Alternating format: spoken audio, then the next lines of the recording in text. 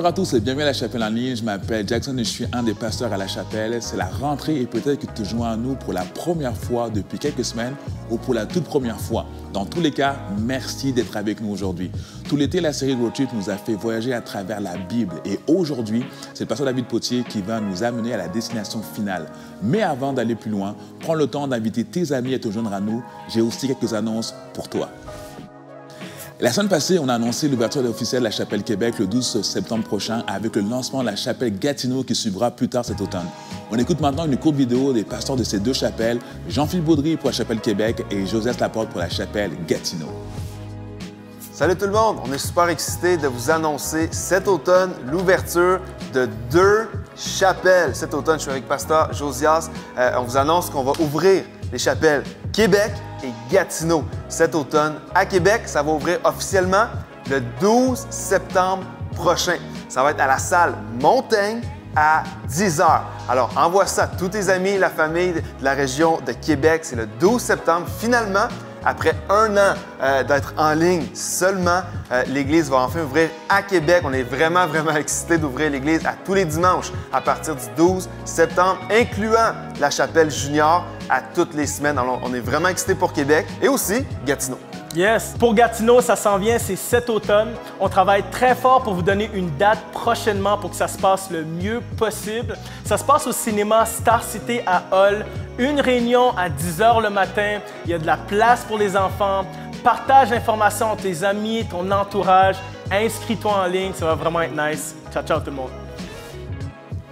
Et merci Jean-Philippe et Josias et aussi aux équipes de Québec et Gatineau pour votre travail au cours des derniers mois. C'est phénoménal. Et toi à la maison, je t'invite à prier pour eux d'ici le lancement et aussi à leur envoyer des mots d'encouragement. Merci. Et dès cette semaine, la réunion en présentiel de 9h45 à Montréal se déplace au théâtre Rialto pour quelques semaines. Ce changement nous permet de reprendre les programmes juniors en personne pour la première fois depuis mars 2020. Et si tu nous suis en ligne, les capsules juniors que nous diffusons chaque semaine sont là pour rester. Une nouvelle capsule est d'ailleurs disponible sur YouTube depuis ce matin. Mais si tu comptes te joindre à nous en famille dimanche prochain à 9h45 au théâtre Rialto à Montréal, inscris-toi et tes enfants rapidement. Tu peux aussi réserver ta place pour la réunion de 19h au théâtre Fermante ou à celle de 10h à la salle Montaigne à Québec. Dans tous les cas, on tient à ce que tu saches que nous suivons de très près les consignes de la santé publique lors de nos réunions.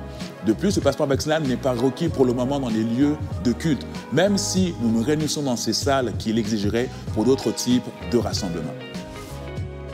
Avec la rentrée, c'est aussi la reprise des activités pour nos 5 à 7, nos petits groupes qui se réunissent en semaine pour vivre l'Église ensemble. Il y en a plus de 90 partout dans la grande région de Montréal et même en ligne. Si tu es déjà dans un groupe, ton animateur va te contacter sous peu. Si tu aimerais te joindre à un de ces groupes, rends-toi sur lachapelle.me barre oblique 5 à 7 et on va te contacter dans les jours qui suivent. Après le succès de leur premier album, chapitre 1, la Chapelle Musique planifie déjà le lancement de chapitre 2 dès cet automne. Le premier single du nouvel album intitulé Mon âme est tranquille sort d'ailleurs ce vendredi 10 septembre.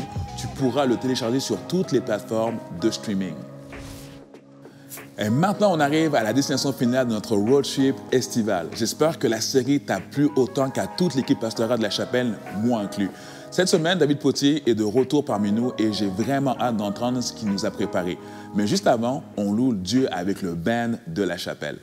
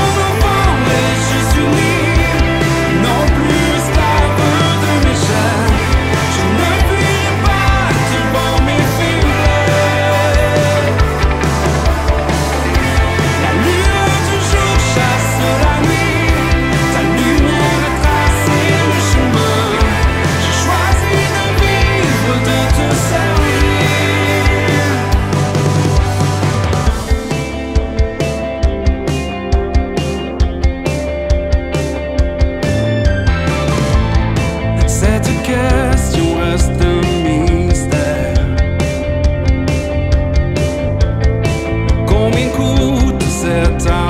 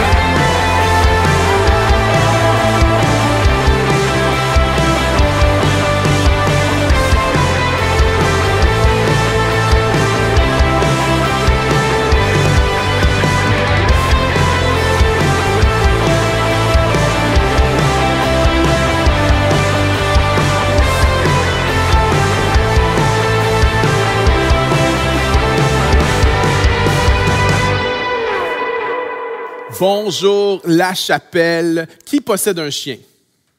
Ouais. Qu'est-ce qu'on ferait pas pour nos petits toutous, hein? On a même tendance parfois à les traiter comme des humains. Il y en a qui les habillent avec une tuque, par exemple. C'est cute, ça. Il y en a qui leur mettent des lunettes de soleil. Il y en a qui ont peur que leur chien attrape la COVID-19. Il y en a d'autres qui poussent un peu plus loin et qui fêtent l'anniversaire de leur chien. Mais il y en a qui, à mon avis, poussent beaucoup trop loin. C'est les gens qui mettent leur chien dans une poussette pour bébé. On devrait jamais faire ça, OK? Jamais. This is wrong. Vous savez pourquoi?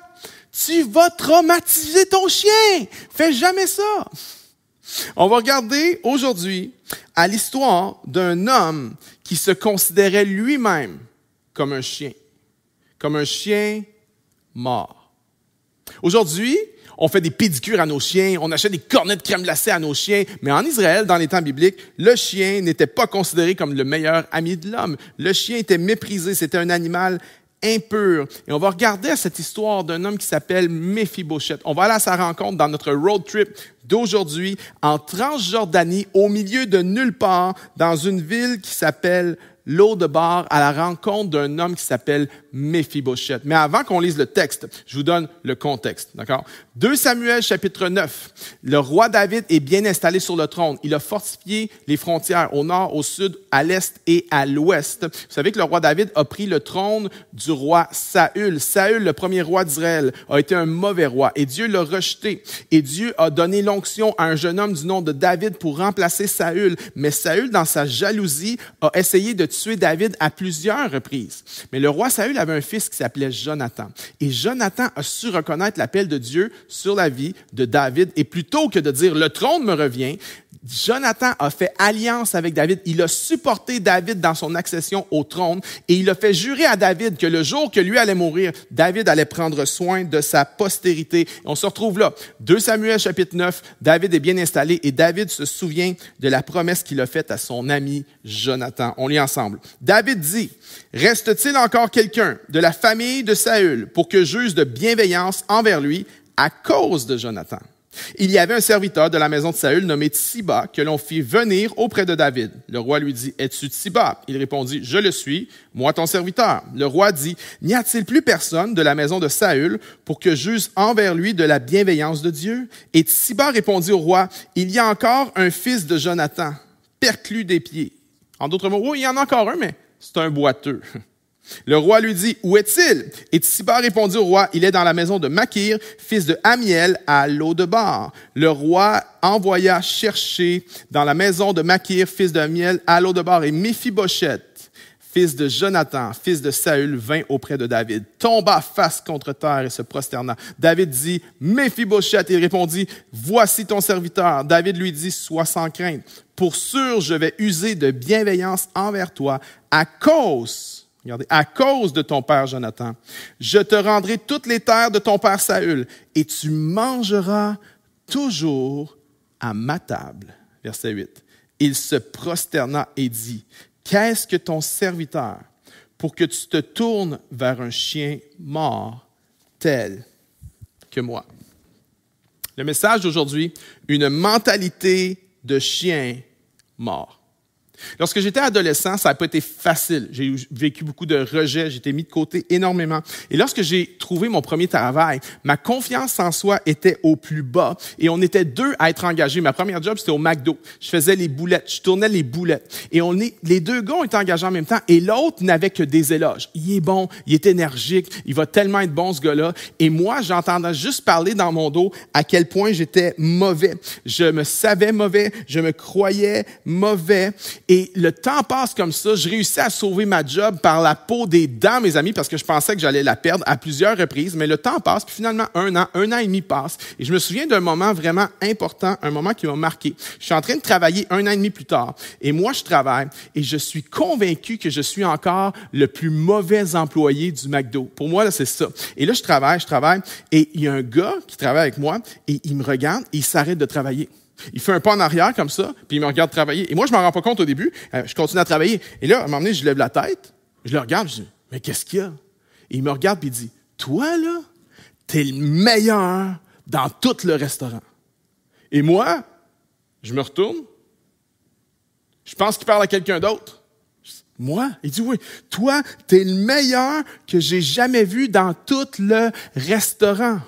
Voyez-vous, j'étais convaincu que j'étais le pire employé, mais j'étais devenu le meilleur employé. Comment c'est possible? Une mentalité de chien mort. Je connais un gars, il vient d'une famille de bolés. Tout le monde a des potentiels académiques de fou dans sa famille. Il y a un grand frère qui a un, potentiel hallucinant. Et toute sa vie, son grand frère l'a diminué. Tu t'es pas bon à l'école, t'es pas bon à l'école. Pourtant, il n'a jamais eu d'échec. T'es pas bon à l'école, t'es pas bon à l'école. Alors, il fait son secondaire, il fait son cégep. Et il étudie pas plus. Pourquoi? Parce qu'il est pas bon à l'école. Rendu dans la vie adulte, il décide de s'inscrire à l'université. À sa grande stupéfaction, il cartonne à l'université. Il commence à découvrir qu'il a un talent pour écrire, pour l'écriture. Et la chose que son frère lui disait tout le temps, t'as pas de talent là-dedans, c'est l'écriture. Mais comment c'est possible d'être aussi doué, aussi talentueux, mais de ne pas le savoir? Une mentalité de chien mort. Les proverbes disent, car il est comme les pensées de son âme. En d'autres mots, ce que tu penses, c'est ce que tu vas devenir. Attention, les proverbes ont annoncé ça il y a des milliers d'années. Aujourd'hui, la psycho vient supporter ça. On appelle ça l'effet Pygmalion ou en anglais self-fulfilling prophecies. C'est que lorsqu'on s'attend à un événement négatif, on modifie nos comportements en fonction de nos croyances, ce qui fait qu'on a, on a comme conséquence de faire arriver la prophétie. Parce qu'on a une mentalité de chien mort. Si tu penses comme un chien mort, tu vas te programmer à agir comme un chien mort et tu vas finir par vraiment croire que tu es un chien mort. Qu'est-ce que ton serviteur pour que tu te tournes vers un chien mort tel que moi? Déjà entendu ces voix-là? Ah, peut-être pas le chien mort, mais tu as peut-être déjà entendu ta vie n'a pas de sens. Tu iras jamais mieux, ça n'ira jamais mieux. Tu changeras jamais, ça changera jamais. C'est toujours aux autres que les bonnes choses arrivent. T'as pas de valeur, personne va s'intéresser à toi. Familier avec cette voix-là?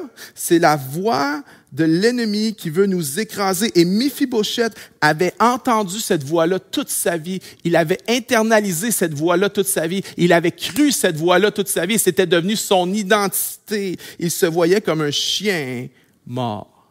Maintenant, il y a plusieurs raisons pourquoi il se voyait comme ça. La première, c'est son historique familial. Il venait d'une famille royale déchue. Son grand-père, le roi Saül, était tellement, tellement obsédé par le pouvoir que ça l'a fait sombrer dans la sorcellerie, dans les pratiques occultes, dans la maladie mentale et son grand-père a fini par se suicider. Combien de personnes aujourd'hui ont une mentalité de chien mort à cause de choses qui sont arrivées dans leur famille, de ce que ton grand-père a fait, de ce que ton père, ta mère a fait, de ce que tes oncles ont fait, et des années plus tard, ça vient encore t'affecter?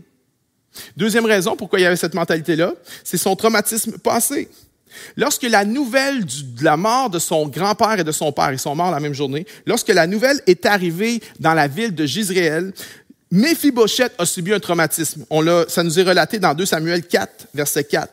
Jonathan, fils de Saül, avait eu un fils infirme des pieds.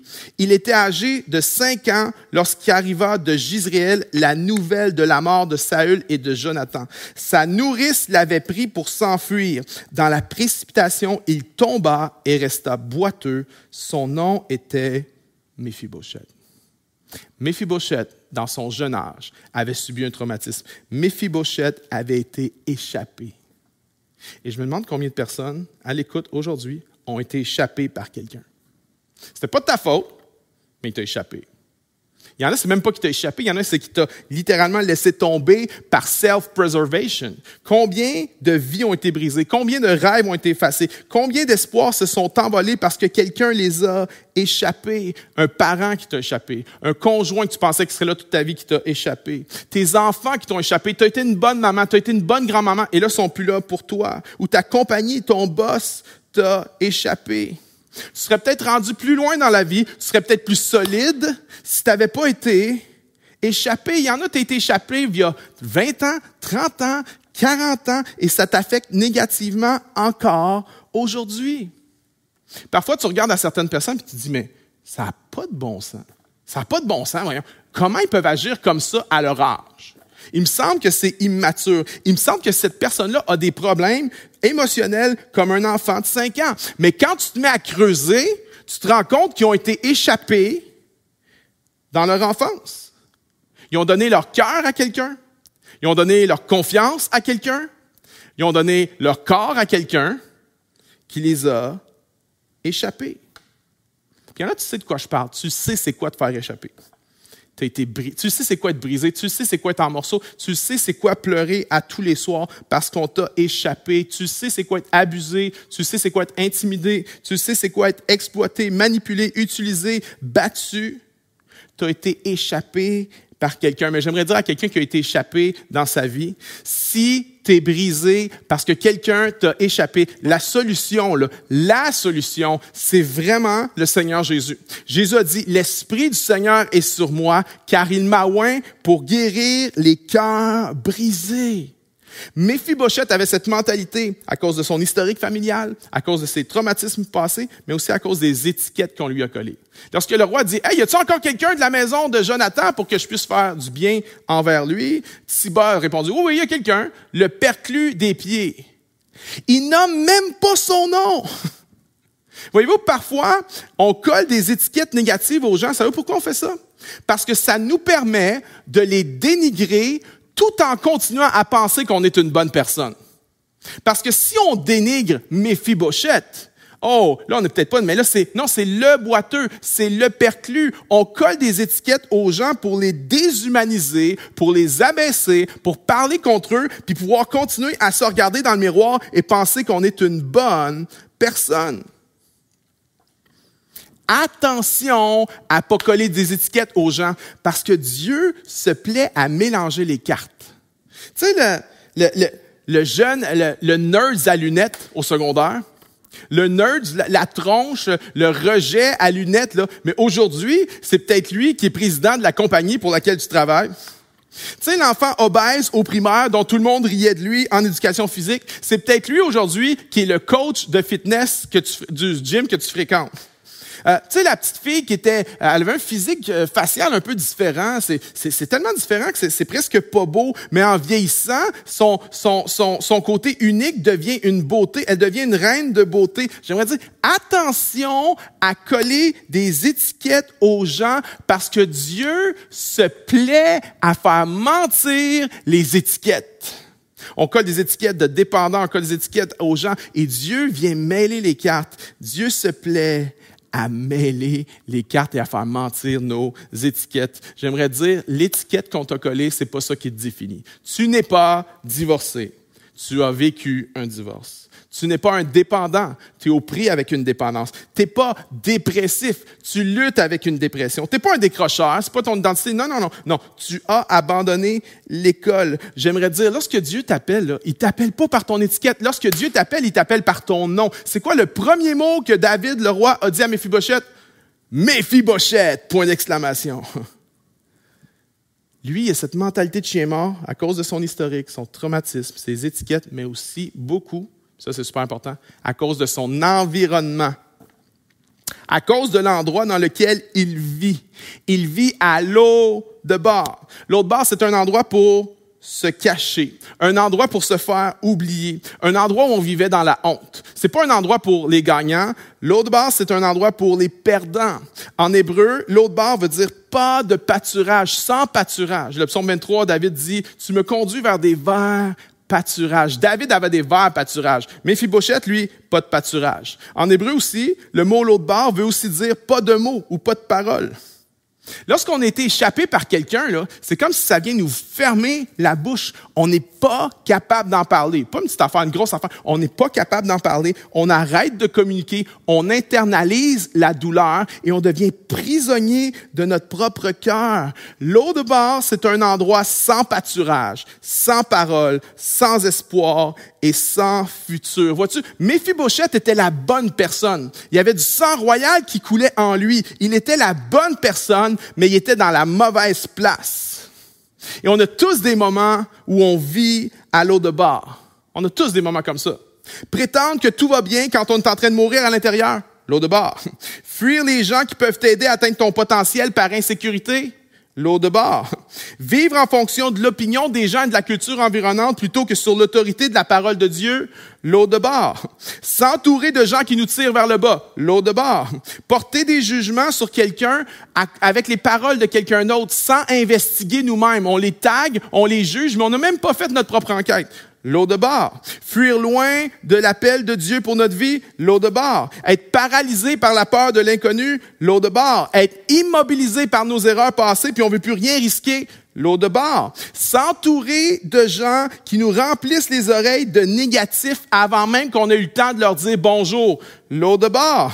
Donner ton cœur à quelqu'un qui n'est pas un disciple de Jésus-Christ, l'eau de bord. Agir comme un chrétien le dimanche matin, mais agir comme un non-chrétien le jeudi soir, le vendredi soir et le samedi soir, l'eau de bord. Vivre dans les regrets du passé, l'eau de bord. S'apitoyer sur son sort, se victimiser, broyer du noir, l'eau de bord. Vivre dans la honte et les regrets du passé, l'eau de bord. Abdiquer sur tes dépendances Dépendance à la porno, à l'alcool, à la drogue, à la nourriture. Justifier nos dépendances. Rationaliser nos dépendances. Tout le monde le fait de toute façon. Appeler nos dépendances une maladie alors que la Bible appelle ça de l'idolâtrie. L'eau de bord. Vivre de chèque de paye en chèque de paye alors que tu as un bon salaire. L'eau de bord. Loader 4 cartes, 5 cartes de crédit. L'eau de bord. Vois-tu, tu es peut-être en train de fuir quelque chose. Tu es peut-être en train de fuir Dieu à l'eau de bord. Laisse-moi te dire quelque chose. Tu peux fuir Dieu, mais tu pourras jamais te cacher de Dieu. Dieu sait où tu habites. Dieu connaît ton adresse. Puis Dieu est capable d'aller te chercher au milieu de nulle part à l'autre bord. C'est fou quand des gens s'éloignent du Seigneur, comment Dieu a le sens de l'humour. Je rencontre souvent des gens qui se sont éloignés de Dieu au magasin. Puis je rencontre pas tant de monde que ça, mais on dirait que Dieu m'envoie les gens qui sont loin de lui. Dieu m'envoie les gens qui sont loin de l'Église. Et c'est fascinant parce que quand je les vois au loin, ils font semblant qu'ils m'ont pas vu. Et là, tu le vois dans leur face, ils disent, oh non, pas Pasteur David. Non, non, je vais pas le voir, je vais pas le voir. Alors, ils font semblant qu'ils me voient pas. Et là, jusqu'au moment où finalement, je leur tombe dans la face, Tédé, hello! Et là, ah, Pasteur David, je t'avais pas vu. mais moi, je t'avais vu. Ça fait longtemps que je t'ai vu. Tu peux fuir loin de Dieu, mais tu ne peux pas te cacher de Dieu. Dieu sait où tu habites. Et j'aimerais dire à quelqu'un qui vit à l'eau de bord, aujourd'hui, c'est le temps de partir. Dieu t'appelle à quitter. Défais même pas tes boîtes, accroche pas tes cordes au mur parce que l'eau de bord, c'est pas ta destination finale. Aujourd'hui, dans le nom de Jésus, on sort. On sort de l'eau de bord. Maintenant, Méphibosheth se retrouve dans la présence du roi. Il pense qu'il va se faire couper la tête parce qu'à l'époque, c'est la norme. Lorsqu'il y a un nouveau roi, on élimine tous les descendants de l'ancien roi. C'est de la solidification par élimination. Mais à sa grande surprise, le roi lui dit, Méphibosheth, tu pensais que je voulais te faire mourir. Je ne veux pas te faire mourir. Méphibosheth, je veux te bénir. Et le roi lui dit, je vais te donner les terres de ton père Saül. OK? Ça, ça veut dire qu'il va l'enrichir. L'enrichir, c'est un risque politiquement pour lui, parce que ça va lui donner du pouvoir, mais le roi le fait dans sa bonté. Le roi dit en plus, tu vas manger toujours à ma table comme un de mes fils. Quelle histoire extraordinaire. On aime ce genre d'histoire. On tripe sur ce genre d'histoire. Il y a quelque chose en nous qui fait yes quand on écoute ce genre d'histoire. On aime les histoires de America's Got Talent quand il y a quelqu'un qui a une voix extraordinaire mais qui n'a jamais eu sa chance et que là, il monte sur un stage et il se met chanter et tout le monde fait ah, qu'est-ce que c'est ça? Wow! Et la personne devient une star. On aime ça. On aime les histoires de underdog. On aime les shows de télé où une famille pauvre, le papa est décédé, la maman est restée monoparentale avec les quatre enfants. Et là, ils ont une maison qui est décrépite, défraîchie. Ils habitent dans un genre de tout dit. Mais là, il y a Extreme Makeover qui arrive. Et en une semaine, on leur bâtit un château extraordinaire pendant que la famille est à Disney. Et quand vient le moment fatidique du dévoilement. On aime tout ça, le moment où il y a comme Move that boss. Il me semble que je me vois, j'ai le goût d'être là. Move that boss. Et là, il move le boss. Et là, quoi? Les gens la télé pleurent. Puis là, nous, dans notre divan, à la maison, on pleure. On aime ce genre d'histoire. On aime le genre d'histoire où ça commence tellement mal, mais ça finit tellement bien. Ces histoires-là résonnent dans nos âmes. Savez-vous pourquoi? Parce que toutes ces histoires, qu'elles soient dans la Bible ou dans un film, ce genre d'histoire-là vient pointer vers une autre histoire, vient pointer vers une l'histoire de ce que Jésus a fait pour nous. Sais-tu pourquoi on tripe sur les histoires comme celle de Méphibosheth? Parce que Méphibosheth, c'est moi. Méphibosheth, c'est toi. Qu'est-ce que tu veux dire, Méphibosheth, c'est moi? Voici ce que je veux dire. Comme Méphibosheth, nous sommes brisés. Je suis brisé. Peut-être pas physiquement, mais émotionnellement, spirituellement, nous sommes brisés. Romains 3, 23. Car tous ont péché et sont privés de la gloire de Dieu. Comme Méphibosheth, t'es peut-être pas brisé physiquement, mais tu l'es peut-être émotionnellement, intellectuellement, mentalement, spirituellement. Comme Méphibosheth, nous sommes brisés. Comme Méphibosheth, le roi envoie nous chercher. Le roi a envoyé chercher Méphibosheth au milieu de nulle part. Dieu est venu. Jésus dit, je suis venu chercher et sauver celui qui était perdu. Jean 3, 17 dit, Dieu, en effet, n'a pas envoyé son Fils dans le monde pour juger le monde, mais pour que le monde soit sauvé par lui. Celui qui croit en lui n'est pas jugé, mais celui qui ne croit pas est déjà jugé parce qu'il n'a pas cru au nom du Fils de Dieu. OK, comme Méphibosheth, je suis brisé. Comme Méphibosheth, le roi m'envoie chercher. Comme Méphibosheth, le roi veut me bénir à cause de l'alliance. Le roi David a fait une alliance avec Jonathan. Et qu'est-ce que le texte dit? Que David va bénir Méphibosheth à cause de Méphibosheth? Non. David va bénir Méphibosheth à cause que pauvre lui est boiteux? Non. Le texte dit à deux reprises que David va bénir Méphibosheth à cause de l'alliance qu'il a faite avec Jonathan. J'aimerais dire, Jésus, c'est notre Jonathan. Jésus celui avec qui Dieu a fait une alliance. Il y a des chrétiens qui pensent que Dieu a fait l'alliance avec nous. Non, non, l'alliance n'est pas avec nous. L'alliance est avec Christ. Et Dieu a fait une alliance avec Christ. Et à cause de l'alliance qu'il a faite avec son Fils, je suis béni. J'ai accès à la présence de Dieu. J'ai accès à la bénédiction de Dieu. Et l'apôtre Paul dit en Éphésiens 1 que je suis béni de toute bénédiction spirituelle dans les lieux célestes en Jésus-Christ. Comme Mephibosheth, nous sommes brisés. Comme Mephibosheth, le roi nous envoie chercher. Comme Mephibosheth, le roi nous bénit à cause de l'alliance. Et comme Mephibosheth, la table du roi couvre notre infirmité. La table du roi couvre notre péché. Peux-tu imaginer la première fois que Mephibosheth a mangé à la table du roi? Imagine-toi la scène un petit peu. Le premier à arriver, c'est le prince Absalom.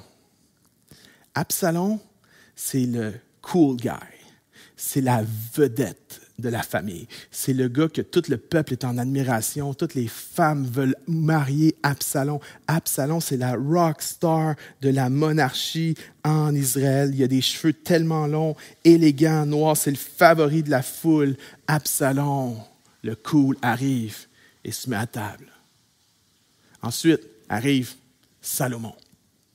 Salomon, le sage, le brillant, l'intellectuel, le philosophe. Salomon qui connaît tout, sur tout, sur tout. Salomon, tu peux pas jouer à génie en herbe avec lui, c'est sûr que tu vas perdre. Il a étudié tous les philosophes. Il connaît tout sur tout. Et Salomon, le sage et l'intelligent, vient et il s'assoit à la table du roi. Ensuite arrive Joab. Joab, le vaillant guerrier du roi David, le gars athlétique, le gars courageux, une légende vivante de la guerre. Joab a des histoires à raconter pendant des semaines et des semaines. Joab, c'est un man's man. Absalom, Salomon, Joab se mettent à table.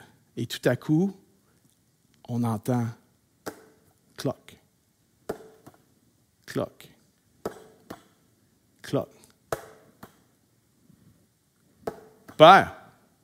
C'est quoi ce son-là? Ah, il y a quelqu'un d'autre qui vient manger avec nous ce soir. On a un invité. Mais en fait, c'est pas un invité.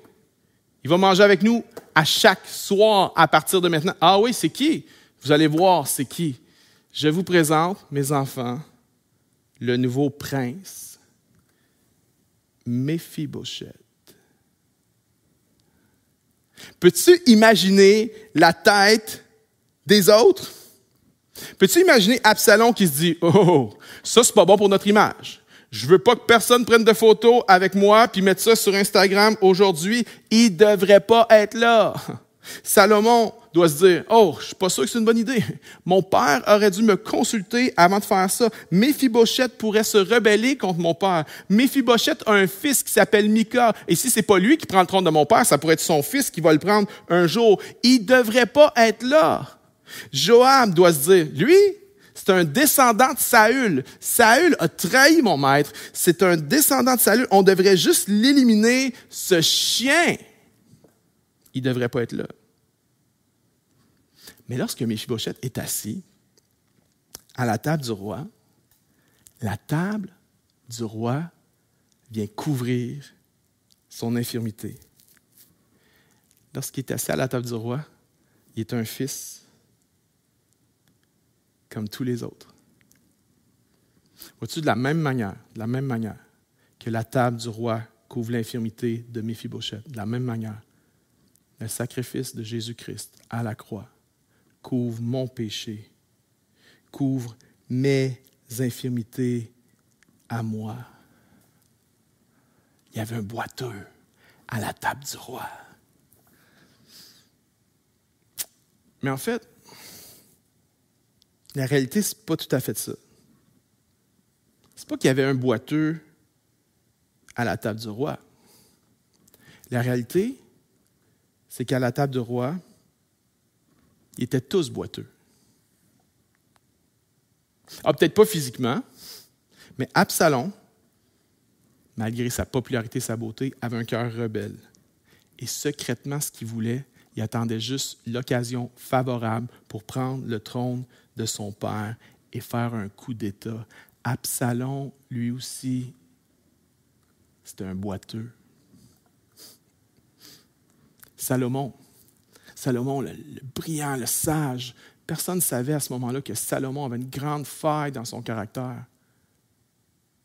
Que Salomon allait s'attacher à des femmes qui n'aiment pas Dieu et qu'elles allaient détourner son cœur de Dieu. Salomon aussi était un boiteux. Joab, le fidèle Joab. Tout le monde aurait dit Joab est tellement fidèle à David. Mais on va apprendre plus tard qu'en fait, Joab est beaucoup plus fidèle à Joab qu'à David. Et quand le roi lui demande de faire des choses qui contre ce qu'il pense, qui pas son avantage à lui, il devient déloyal envers le roi. Joab aussi était boiteux. Voyez-vous, c'est pas qu'il y avait un boiteux qui mangeait à la table du roi. C'est que chaque personne qui était assis à la table du roi était lui-même un boiteux. Ils sont tous boiteux mais la table du roi couvre leur infirmité.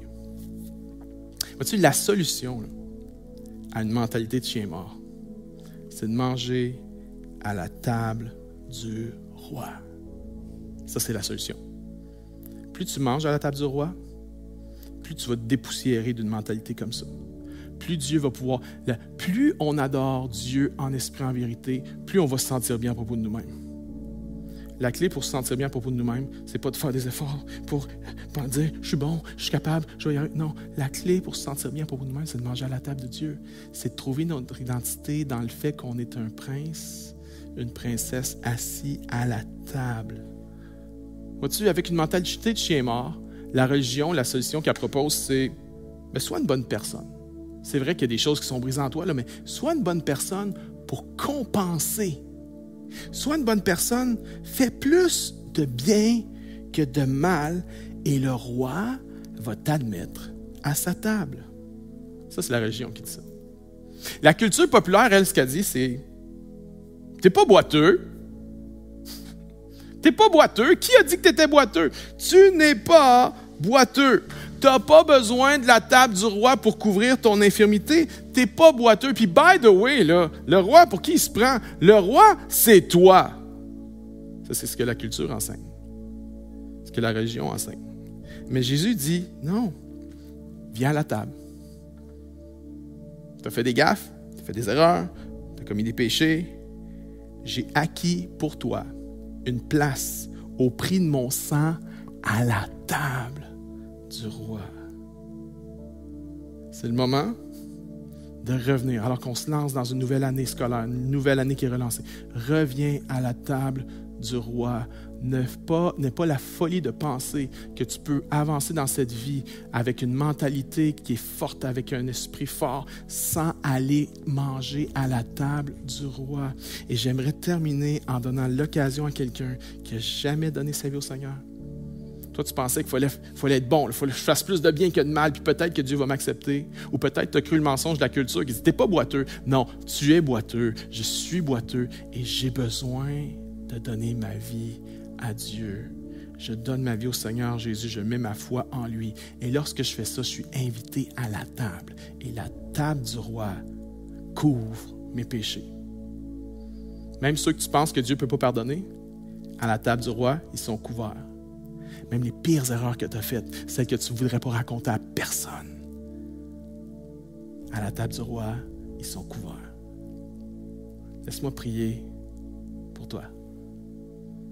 Oh Seigneur, je prie pour quelqu'un qui est à l'écoute en ce moment, qui n'a jamais donné sa vie à toi. Je te prie qui puisse entendre l'appel du roi, l'invitation à la table du roi. Il y a une invitation qui est lancée, mais on doit répondre. Et je prie pour quelqu'un qui dit, je donne ma vie à Jésus aujourd'hui. Je reconnais que Jésus a donné sa vie pour moi afin que je puisse avoir une place à la table du roi. Et je veux recevoir le pardon de Dieu. Je veux que mes péchés soient couverts à la table du roi. Je viens à toi. Je te donne ma vie, Seigneur. Je prie pour chaque personne qui fait cette prière-là, chaque personne qui croit ça. Tu les accueilles aujourd'hui aujourd'hui à ta table, Seigneur. Ils deviennent tes enfants adoptés, des princes et des princesses du roi de l'univers. Dans le nom de Jésus, Amen. Amen. Si tu as fait cette prière aujourd'hui, tu as donné ta vie au Seigneur Jésus, tu as redonné ta vie au Seigneur Jésus, tu es maintenant invité à la table du roi. Écris-nous. Écris-nous, on veut t'accompagner dans ton cheminement spirituel. Bienvenue à commerciallachapelle.me. Maintenant, mes amis, répondons à ce message avec un grand privilège d'être invité à la table du roi. Louons et adorons le Seigneur ensemble.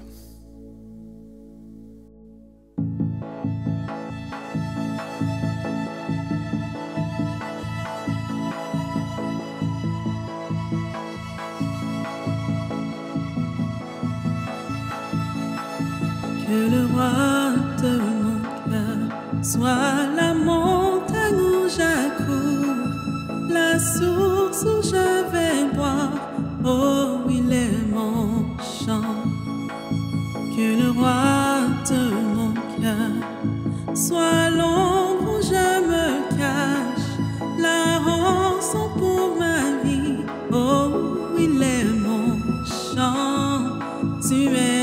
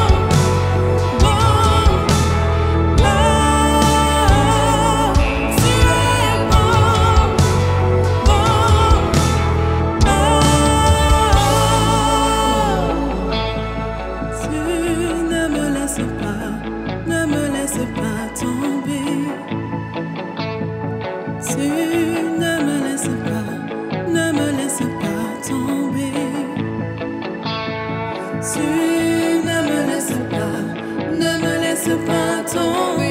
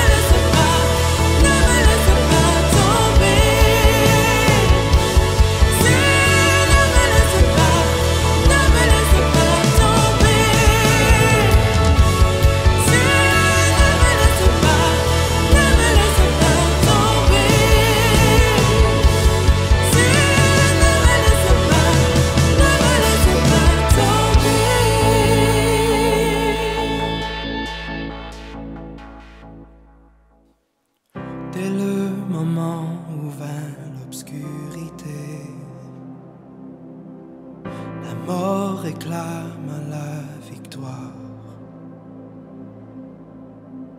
Le roi d'amour renonce à sa vie. Au plus sombre jour de l'histoire. Sur une croix bâtie pour les pécheurs. Son sang couvrit l'iniquité. Dernier souffle et tout fut terminé. Mais d'une manière inachevée. Car la terre fut ébranlée. Le voile déchiré. Quel est donc ce sacrifice? Que les cieux rugissent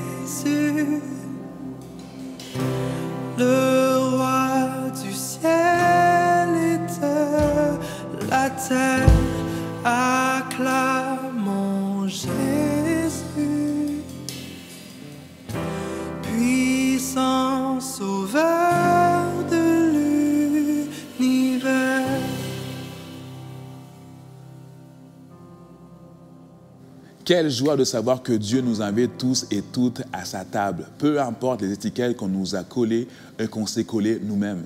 En fait, la seule étiquette qui devrait nous être collée est celle d'enfant de Dieu. Merci David de nous avoir menés à bon port avec ce dernier message de la série Road Trip. Mais pour vivre pleinement comme un invité à la table, on a besoin d'une communauté autour de nous. À la chapelle, il y a plusieurs façons de la vivre. Tout dimanche, on se réunit en personne à 9h45 au théâtre Rialto et à 19h au théâtre Fairmount à Montréal et à 10h à la salle Montaigne de Québec dès la semaine prochaine. Il y a nos 5 à 7 dont je parlais tantôt et qui se réunissent en semaine. On a aussi des groupes Facebook pour les gens de chacune de nos chapelles et même celle de la chapelle en ligne. Finalement, tu peux participer au After sur Zoom tout de suite après notre réunion. Cette semaine, comme tous les premiers dimanches du mois, on prend la communion dans nos After. Tu trouveras le lien pour t'y connecter sur notre site web. Merci à tous ceux qui sont généreux semaine après semaine. C'est grâce à vous qu'on peut célébrer en ligne et en personne, ouvrir de nouvelles églises et faire une différence autour de nous. Tu peux donner de façon automatique par l'entremise de notre site web ou de notre application mobile. C'est facile, sécuritaire et ça fait un monde de différence. Et merci d'avoir été avec nous aujourd'hui. La semaine prochaine, on commence une toute nouvelle série sur l'Église intitulée Nous, lors de laquelle on va rêver ensemble de ce qu'est l'Église en 2021. Pourquoi nous? Parce qu'on croit fermement que l'Église, ce n'est pas un bâtiment ni une institution. L'Église, c'est des gens, c'est nous. Ça commence dimanche prochain avec le pasteur David Potier en ligne et à Montréal et le pasteur Jean-Philippe Baudry à Québec. Tu peux réserver dès maintenant si tu veux être avec nous en personne à Montréal ou à Québec. Mais tout de suite, on se rejoint pour la communion dans nos after. Bonne semaine.